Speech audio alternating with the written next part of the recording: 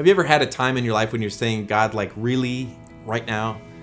Uh, when I first got out of the seminary, I was assigned to start a church outside of Seattle. I was really excited about it. And the, one of the ways that you do that is you make all these contacts and the people in the neighborhood, and you knock on doors and you just meet people and you invite them. At the time, we called it Bible Basics. We wanted to teach them the truths of God so they could know the peace that I know. Super excited about it. My first class, I heard about all my friends around the country who started churches, and they had all kinds of people going to their classes. So I was really excited. So I, I scheduled the first one, and uh, nobody shows up.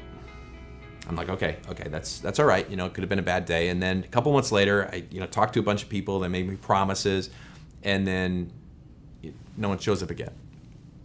Third time, I'm getting a little nervous, and I'm thinking I'm supposed to be a guy who starts churches. What's going on in my life? So I, I scheduled the third one. I got all these promises. I was sure people were going to show up, and then you know seven o'clock or whatever time it was rolls around, and nobody nobody's there and I'm kind of waiting and I'm, I'm saying a prayer and I'm kind of all kinds of questions in my life. And then there's this knock at a door and it's Darren and Susan and then Nick and Jenny and Alexandra come through this door. And I, I couldn't be more excited about finally doing like what I was actually called to do to start this church and share God's word with these people.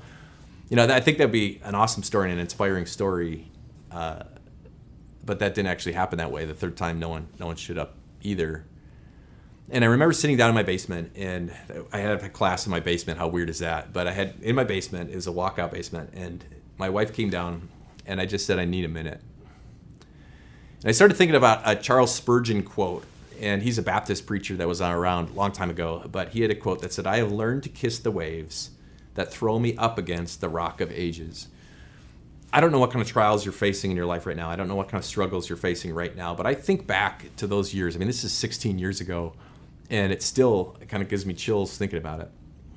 Where would my faith have been from a human perspective if everything I did had a human success? And where would my church be if, in my mind, I thought it was Jared's effort and it was my hard work and my intuition that grew this church to where it was at?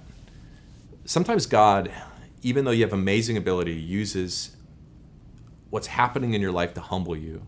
Sometimes God uses your very best skills to humble you. Some guys, God just brings you low. And sometimes He just uses things to push you up against the rock of ages. When we went to start a church again just outside of uh, Denver, south of Denver, we used a different passage to name that church, and this is the one. It's from Isaiah. It says, "Trust in the Lord forever, for the Lord, the Lord Himself is the rock eternal." I don't know what kind of trials you're facing right now, but I know that Christ faced even more trials. I know that God went all the way to a cross to assure your salvation. In whatever He is throwing at you, I guarantee it's for your eternal purpose to move you from here to where God wants you to be. So let's pray. God, it's hard to trust. Uh, and it's hard to trust when we're so scared, but you are the eternal rock.